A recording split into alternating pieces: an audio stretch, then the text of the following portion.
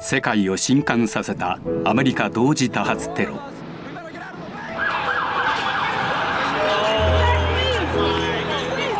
その現場では警察官や消防士らが市民を守るために命がけでその使命を全うした。レスポンダー救助者たち「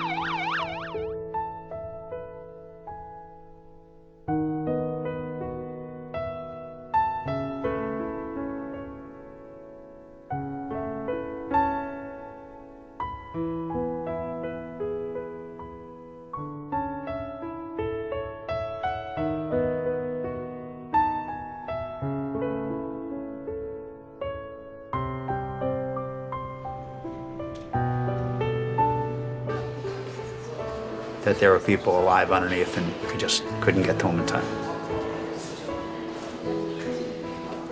You try to put that out of your mind, but in the back of your head is there.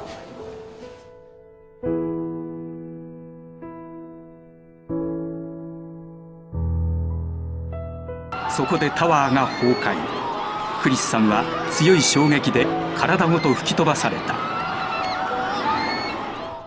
I saw a child's arm and a child's head burnt. Couldn't tell if it was boy or girl. That that sticks with me. Because it looked like a doll, but it wasn't a doll. It was a child. In the police department and the fire department, we were taught to win and don't lose. You know, especially cops and firemen. It's like being the military, they're not going to seek out therapy. It's not something that you do, it's just not something that's ingrained in you.